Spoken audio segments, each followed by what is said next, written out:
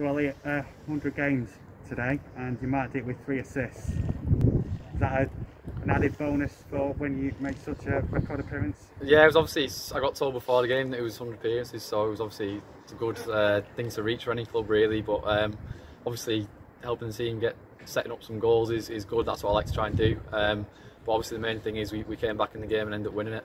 And the third assist, uh, was it a shot or was it a cross? Well, it, like I said, it was a bit of both, really. I was just trying to look for the far corner, and then if someone came across, then then it was good. But Connor stole my goal, so that's what he does, really. He just sort of sniffs around the box, looking for anything dropping down, and that's his, his job. So I think it was going in, though, so.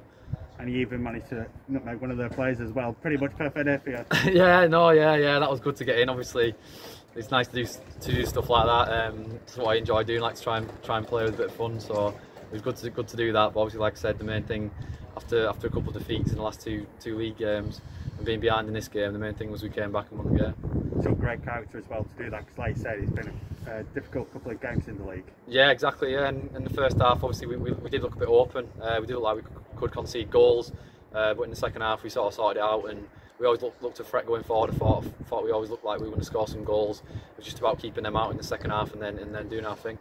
And obviously, big week ahead now. Uh, Wolves in the FA Cup. Now you've played this game, got it out of the way. Is it just a case of excitement, ready for Friday? Yeah, it's obviously it's a great way to go into the to the Wolves game with, with uh, three points in the league. Obviously, we, we still we value the league highly. We still go, want to finish as high as possible.